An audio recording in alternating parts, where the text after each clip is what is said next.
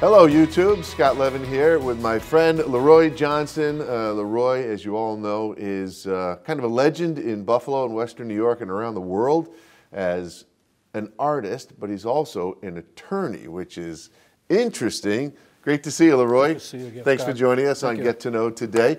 Uh, let's begin first and foremost with your background. Tell everybody at home a little bit about your background, where you grew up as a kid, schools and stuff like that. Okay, well, I'm a Buffalo boy. Yeah.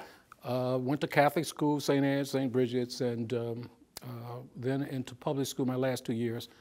Uh, East, I went to East High School, Hutch Tech, Lafayette. Right, of course, yeah. had- went to quite a few high schools.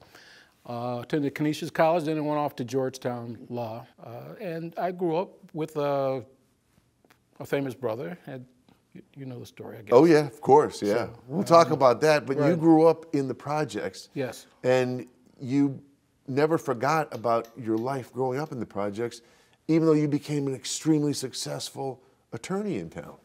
you have to know where you're coming from to know where you're going. So it, it was a great experience, uh, meeting the people, learning those experiences because it prepared me for life. You know, and so uh, here I am. So I go back and um, I do what I can to um, to help out when I can. But uh, both of those projects are gone. Right. I mean, the, the Perry is gone and.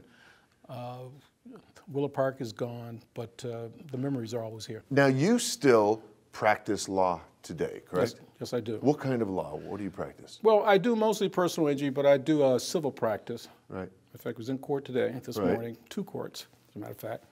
Uh, uh, I have a general practice because I have my own firm. So, uh, So let's talk about your artwork. Um, it is amazing artwork. thank you. I mean, it really is. Anyone who sees it knows that it's one of your pieces. Um, it's not often that an attorney becomes an artist and becomes a famous artist. How did that happen? Because I was an artist first.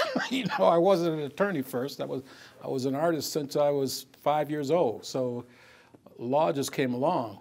Art gave me the ability to explore things in my mind, and that it, uh, it gives you a thinking because it's a really a thinking process that you have to use in, in art, uh, imagination, that kind of thing. And um, when I was in high school, the question was, was I, I, I going to be an artist or not? And I, I decided that. Uh, uh, I'll just continue with art, but uh, let's try school for a while and see where that, that takes me. Wh- Where's your inspiration come from? I mean, we look at this beautiful artwork that you do, and you have a huge catalog of artwork.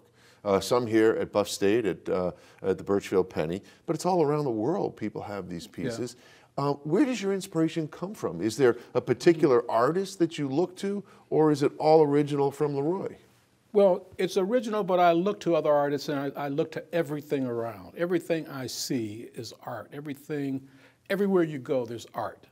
Everywhere. Everything that you see, everything that's visual. Your is prism of life Yeah, is art. It's just question of, of uh, how you interpret it or whether you want to interpret it and whether you want to put it into, um, into your work. So I, I believe everything. I'm always looking at things and, and, and different things to try and enhance my art. Every time I go to the canvas, it's a different experience. Uh, it's almost as if it, uh, I'm a new artist every time.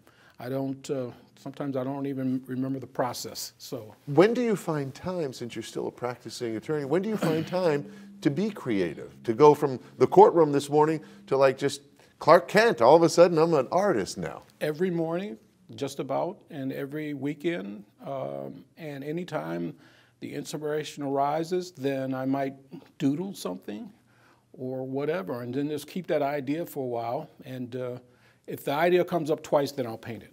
You call your work, I'm trying to remember, electric, Electric primitive. primitive. Electric primitive. I had never heard that term until I read it.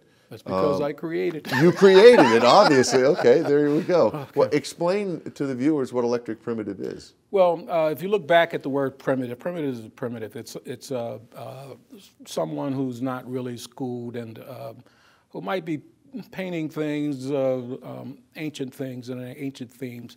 But uh, electric is really the use of colors. I, I try to electrify the, the, the primitive things. If you, if you look at, at a, uh, a cave drawing or something like that, you know, uh, some of them are very colorful, Right. but they, they usually only use red ochre and uh, uh, some yellowish colors and, and um, maybe some uh, dark ash or something like that. So what I, I consider myself doing is electrifying that by putting in your your bold colors, your your reds, your yellows, your blues, and, and uh, I, I love to use a lot of silvers and golds and that kind of thing. Does that include an African theme with it also? Oh yeah, it's very Afrocentric, Right. uh, but at the same time, it's it's modernistic and uh, it's electric primitive colored people, Right. colored people from back in the day. Right, right. But um, and and it's really playing out now with colored people because we're all colored. We're all mixed with different colors. So.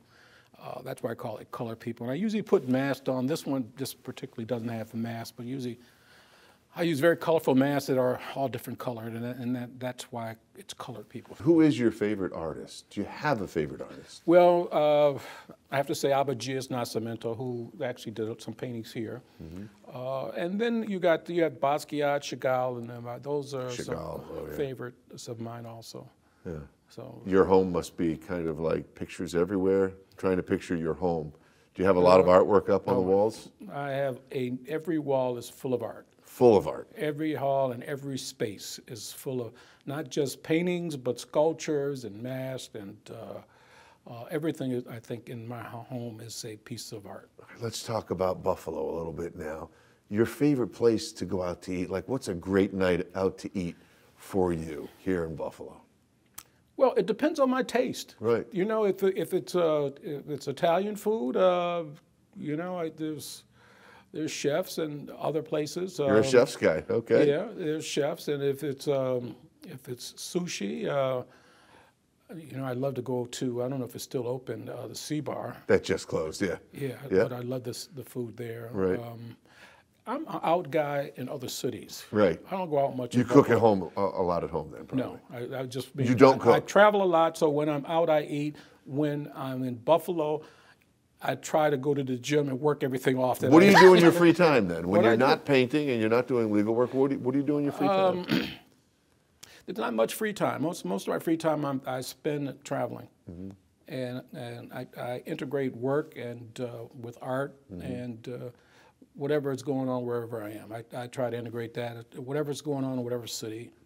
Yeah, you a, a sporting sport fan? You Oh, like yes. Bills, Sabres?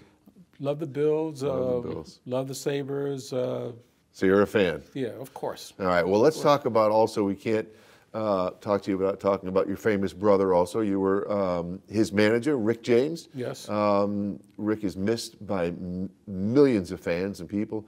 He's one of the most well-known uh, people to come from Buffalo. What was it like to have a famous brother and to manage your famous brother, Rick James? Well, um, I, I like to stay in the background for the most part. Um, uh, it, it, it was a lot of work. I mean, Rick was a, a uh, as you said, a super, he was actually a superstar. Right. And it required a lot of people to manage him. I, you know, I was the manager, but there was a lot of people who worked with me in terms of managing. We had a, a slew of lawyers, a, a slew of security, everything you can think of. We, Right. we had to have a lot of. Um, and uh, uh, I'm happy that we did what we did because uh, as a result, I think Rick is an iconic individual now. Uh, and I can look back and I hear everything that Rick does or one of the pro- uh, projects that we had. Uh, I hear something every day. You're a Buffalo guy, born and bred. What's your favorite thing about Buffalo? Well, the favorite thing I love is that you can go anywhere and see somebody that you know, and uh, uh, it's one big family here, and I like that because you know I, I see people that I grew up with, and uh, you know the legal community is like that, and uh, uh, the people here at the Burchfield they're like that. Um, uh, I, I just love the the uh, the community spirit that Buffalo has, and and also it, it's the most comfortable, beautiful place that I've been. I don't care in the world. I love Buffalo as much or more than any city I've been to. And, and last question: Are you doing pieces for specific people? Do people contact you and say, "LeRoi, I'd like you to do a piece for me, piece of artwork for me," uh, or are you just doing I, it on your own I don't, schedule? Um, I, I don't do that kind of thing. I paint for me. Right. You know, I, I will uh, paint pieces if you if you want one of the pieces, it's fine. But you know, if you want a blue painting, uh, I'll give you a blue painting to pick from. But I'm not going to do you a blue painting. You know, I'm not going to do that kind of thing. You know, I, I will do something based on a theme, uh, usually for shows and that, but not for individuals. LeRoi, it's been great to get to know you, and we appreciate your time today. and We appreciate your work that you do on canvas and in the community. Thank you. Thank you so much for your time today. Okay. Great time getting to know LeRoi Johnson, a real Buffalo icon. Thanks you. for joining us on Get to Know. Okay.